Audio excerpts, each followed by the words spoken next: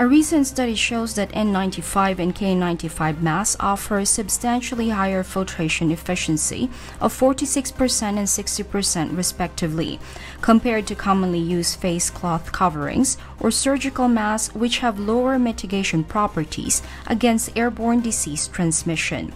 Findings published in the journal Physics of Fluids in Waterloo University indicated that these medical masks filtered out more than 50% of the exhaled aerosol accumulated indoor that can potentially spread COVID 19 virus when inhaled by people.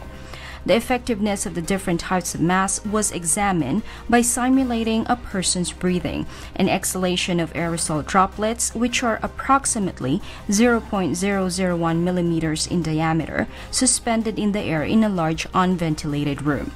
Health officials around the world primarily believe that SARS CoV 2 virus was spread through droplets by sneezing, talking, or coughing.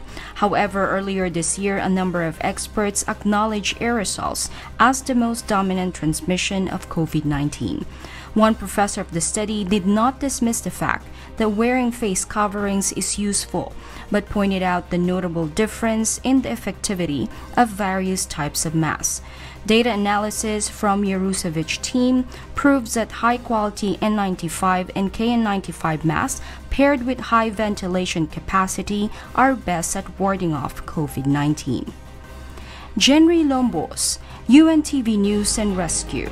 We serve the people, we give glory to God.